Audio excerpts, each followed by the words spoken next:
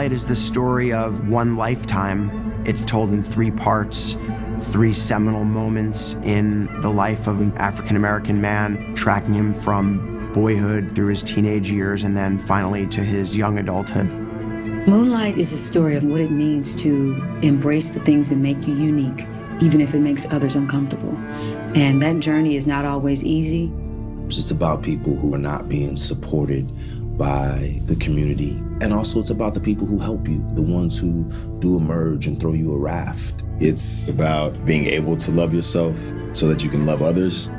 I think at the bottom of it, it's really a universal story, you know? This guy just needs to find himself.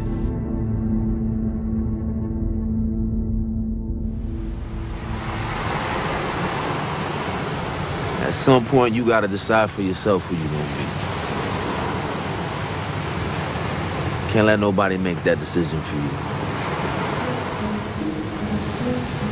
Moonlight began with this playwright, Tarell McCraney. Tarell's a MacArthur genius. He's worked at the Royal Shakespeare Theater, uh, Steppenwolf in Chicago. He's had plays at the Public.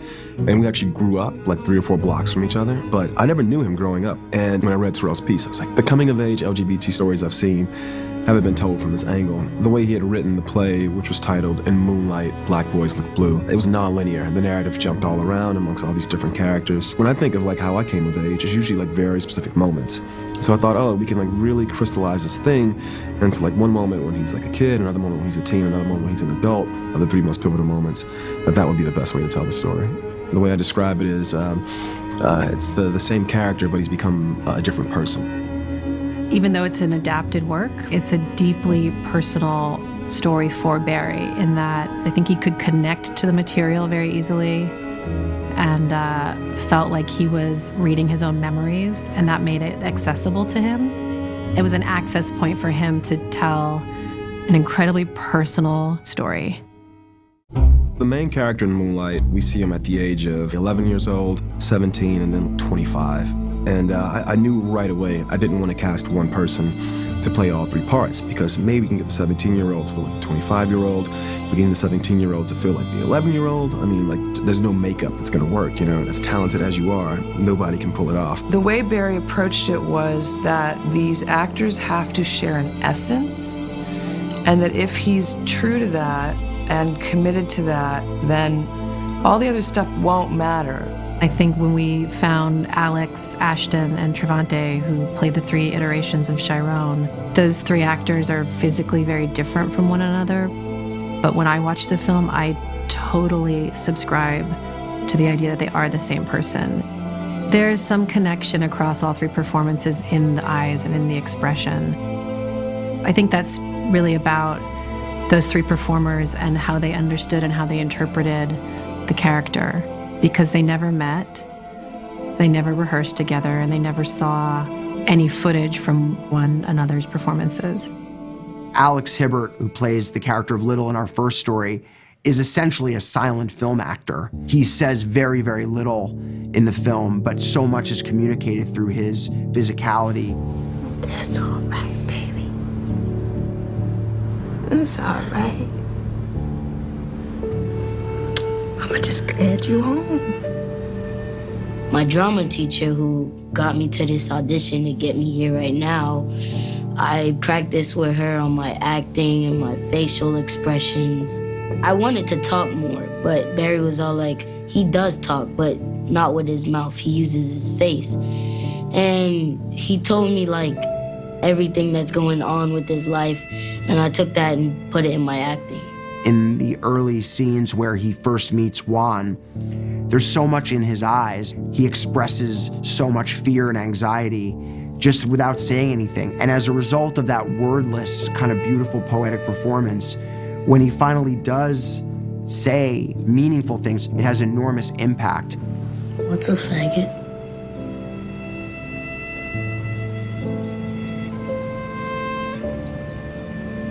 Chiron he gets bullied a lot because of his sexuality. And they judge him because he's different. And I don't think different is bad. We auditioned a lot of kids in the Miami area, and Alex Hibbert came in, and he was just so. You ever meet a person who's like 10 years old, but they feel like they're 55, you know? You would think you were working with a seasoned actor.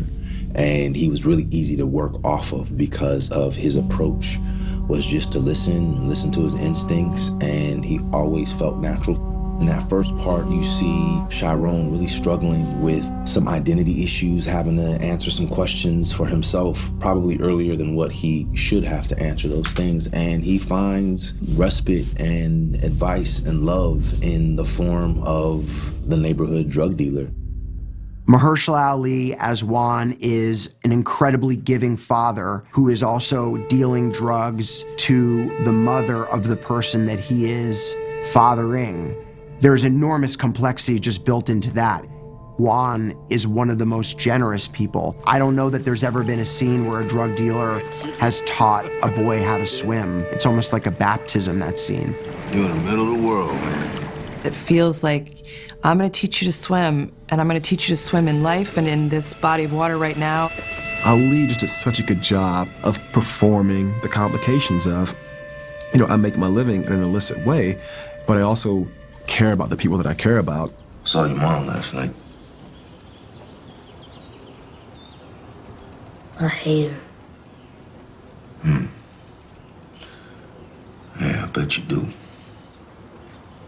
I hated my mom too. I miss her like hell now. What I love most about Barry is that he is a master in exploring silence and giving actors the space to speak and find the language, perhaps in movement or thought. And then the language supports the silence. The relationship between Juan and Little in the first story, that's based on an experience Tarell had, you know, as a kid growing up in Miami. You know, he was always the the sort of outsider sort of kid, a little bit picked on, you know, for reasons that became clear once he got into his teenage years. And the person who took up for him the most was this local drug dealer. And so I wanted to really get it right for Tarell. I grew up without a father figure, but watching Ali in the film as his character Juan, I'm like, oh, I wish I had grown up with someone like that in my life. I think with both Teresa and Juan, you know, I don't think that character could have made it to the age of 17 without the experience he had with them. At the age of 11, Teresa uh, is a very loving, maternal, you know, source of warmth, uh, but they're generating their income, you know, you know, through illicit means. Janelle Monáe came down in her first ever role and communicates almost this pure state of love and acceptance. Janelle was coming to it from a very pure place, uh, very curious and trying to figure out exactly how to be as truthful as possible, was able to draw off of her own experience and having lived with or seen or known a Teresa in her own life. Teresa reminded me of that one woman in the community and in my family, that older cousin who was the nurturer, the mentor to us and for us. And she listened and she never judged. And that's the spirit that I brought into Teresa. I was a little nervous because I had never done this, obviously, and I was working with Mahershala Ali, and you know who I adore and respect immensely. And I'll never forget these words. Barry said to me, he said, Janelle, there's no such thing as making a mistake. And I just went, ah, you know, I just relaxed and I worked with my heart and my ears. I understand why she's so successful in her music career because she would literally watch him Mahershala work and she would work with him and you would see over the course of the scenes like her performance would progress, you know, she would just pick up things and sort of like utilize them. Oof, you and Juan. Y'all two, thick as thieves. Give me that. I play Chiron. He's a boy uh, who's struggling with identity, with himself, with love, lack of a father figure, lack of a mother figure, uh, or thereof, with her being there and her being on drug addiction. Um, just like dealing with the harsh life at a really young age. I was able to relate to this character on many levels, one particularly being my mother went through drug addiction. For like the first 10 years of my life, I feel like everybody is, is always trying to like find themselves or like struggling to figure out who they are, whether somebody has been bullied. From elementary school to middle school, I was bullied for being skinny and black. you know, and, and that shit messes with you. I was able to bring up those old emotions in order to bring it to the character. Ashton was actually the first person to audition uh, for his part, and of course, I brought him back five times. This film, there's a lot of silence, and so a lot of times you have these guys, they're performing, but they're not speaking. And so I had to see a lot of him, like in a room, in an audition setting, you know, just being and not speaking. Ashton has, at that point in his life, he's been made mute. And so all his feeling and all his sadness, a lot of it has to be communicated in movement and where and how his face looks and how he touches and doesn't touch and receives and listens and hears. And um, you have to believe all that so that when he finally says, Sometimes I cry so much I don't know what to do, you believe it. Should I cry so much sometimes? I feel like I'm gonna just turn into drugs. I think Ashton as a performer is very good at being vulnerable, whereas Jharrel Jerome, who plays Kevin in the second story, was very just like, you know, like, I'm the man, even though I'm 17. Jharrel Jerome, amazing actor who plays our second Kevin, is both a Lothario. He brags about how he is with girls and he's been having sex with a girl. And yet there he is in the moment of greatest need for Chiron on the beach, ready to be a friend to him. I feel like Kevin throughout the story is looking to guide Chiron in his process of discovering his own identity. There's a tragic quality to the whole thing because Kevin is a perpetrator of violence against Chiron in, in, in, a stunning turn of events in the second story. And in that scene, Ashton Sanders, without one line of dialogue, communicates so much about his situation just at the moment where he felt like maybe things were going to turn around for him. The world attacks him with a form of cruelty from the person that he's just opened himself up to. With the way the structure of the film is, there's all this information between the stories, you know? I mean, there's like eight years, you know, every time we jump to a new chapter. Things happen off screen that are of monumental importance and they're not explained. To us, there was like a hidden power in that you see things and then their effect is almost magnified over time. So one example of that is how the character of Chiron becomes the character of Black and how Black physically transforms between the second story and the third story. Black is physically imposing. That physical transformation was a direct response to the emotional trauma that this person has experienced. It stands for how we as people change ourselves in response to pain and and how in this case the presence of love that was taken away provoked this physical transformation. Black is someone who is struggling with his identity. He is a homosexual man who is kind of combating that in the best ways he knows how as putting on this facade, this, you know, physical armor. I did not write the character to look like Trevante. Trevante is actually came in to read for the character of Kevin, and which ended up being played by Andre Holland. And I remember Trevante was reading, and my producer, uh, Adele Romanski, was already passing me a note, and it said, not Kevin, Black. Trevante's presence was so strong, it made more sense to me to make this character black be more like the person Trevante. Something I love about him in the role is how he defies stereotype and expectation. From the moment that you see him, you think, oh, I know what this character is, and the man inside is nothing like the man outside. He's slowly backing away from who he is to the point that he creates this whole different version of himself uh, between who he feels like he could become, you know, and uh, and who he truly is. But I think by the third story, Black has decided I'm just going to completely shut that part off. But the way my life has been, sometimes you just meet someone, you know, or someone from your past returns. I play the adult version of Kevin, who is, in the first story, the object of Chiron's affection. I was really drawn to it because he has an enormous amount of vulnerability and heart. Andre Holland, in the third story, as our oldest version of Kevin, is incredibly loving towards Trevante Rhodes as black and yet also doesn't understand, you know, why are you this way? Why are you dealing drugs? Why are you why do you have gold fronts, you know, in your teeth? What's wrong with you? Kevin's complicated. He's carrying around all this guilt. Andre's just very smooth on top, but there's just so much chaos beneath, you know? He's really good at performing that.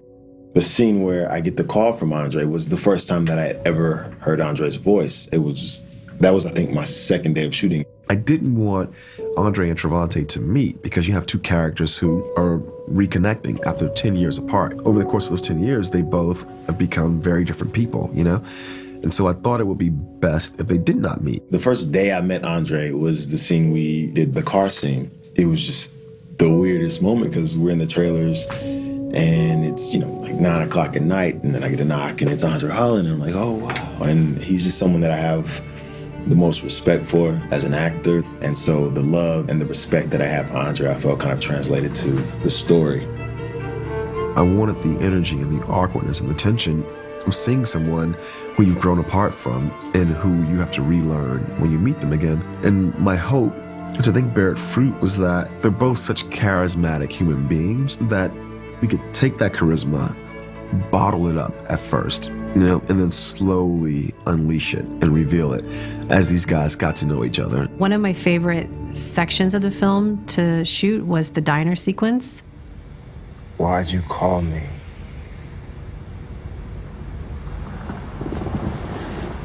I told you, man. Dude came Yeah, in. yeah, yeah. I remember that being such a powerful moment on set. And I remember Andre was there by the jukebox. And I stopped watching the monitor at one point and just started watching Andre. And the chemistry between those men that you feel on screen, you could feel it on set. It was electric. And for a moment, I felt like I was in the world because it was almost as if for Andre and for Trevante in that scene, in that moment, there was no camera crew in the room. There was nobody else there but them. Barry do this great thing where he say, you know, I kind of see the scene happening here in the booth, but, and you know, I was thinking maybe you went over there at some point, but yeah, you guys will figure it out. And he kind of walk away to let us figure it out. But you know, ultimately he knew exactly what he wanted. But you know, but in doing so, it gave the actor like great sort of license and ownership over the part. I watched that scene for the first time as they were performing it, and I turned to the DP and I was like, "Do we need more angles?" Because I mean, it was just so good. I think Andre is the person that Trevante's character finally opens up to. It's the friendship that ultimately gives him the courage, I think, to be honest with himself. I felt like in order for this character to really get on the road to becoming who he's going to become in the third story, he needed to find something. And the place to find that was in his mom, was in his character, Paula. I say that because I had the same experience. You know, I was sort of trying to figure out, oh, am I an artist? Am I a filmmaker? Am I this or am I that? And I sort of realized there was this block on who I was because I hadn't resolved this thing with my mom. Barry's mother and Tarell's mother, Terrell the playwright, they both grew up with single, drug addicted moms. And so I think because it was so personal to Barry, because that was his experience growing up with his mother, he was able to present the role that way to Naomie, and then she was able to take that and sort of put her own interpretation to it. I need some money. For what? That's my business. Don't you ask me no shit like that. She's nothing like Paula, nothing like my mother. And I think to get to know the character, she wanted to get to know me. And it was like just a really intimate process of figuring out where the line was that Naomie could slip into this character and really just go there. In the beginning, I found it really difficult to connect with her. So I looked into what it means to have a drug addiction. What really was my breakthrough moment with Paula was when I realized that what united these women who had these crack addiction um, was uh, that they'd suffered some kind of sexual trauma, rape, child abuse, and it was almost like they were using the drugs to numb themselves and escape. And then that was my superficial in, and then it just got deeper and deeper. With Naomie, I wanted her to really get to the truth of what that was like, and she goes there. And anytime I would ask her to go further, she was ready to go further. I think I had to have this sort of like moment with my mom that, that allowed me to get to the point where I could be comfortable being who I was, you know? And I think for this character in the film, it's so, so important. And, and it's important that it was earned, so you see the darkness. And then there's like just a beautiful scene between Naomie and Trevante where all the things I just described, literally about me, not the filmmaker, me, the human being, where I saw those two actors perform that thing, and I saw a genuine release of just all this stuff that allows Trevante, and the character Black, to truly become himself. I'm so sorry. We all have this search for belonging and connection, and the story is just a beautiful journey about how you can find that, but only through another person, and how love has the ability to heal and almost give birth to you as a new person. We all have moments where we struggle with our identity. I don't care who you are. And I think that rings true, and I think that's why most people can relate to it. I really just hope people who do see themselves in the film uh, just find that, that we got it right. My favorite audience member just walks in, knows nothing about the story, nothing about the characters, and then the characters, the performances are so authentic that it's like, oh, you know what? I would like to know more about this world.